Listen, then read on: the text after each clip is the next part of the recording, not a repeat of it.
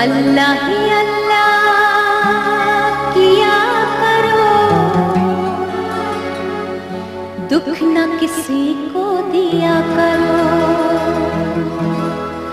जो दुनिया का मालिक है, नाम उसी का लिया करो।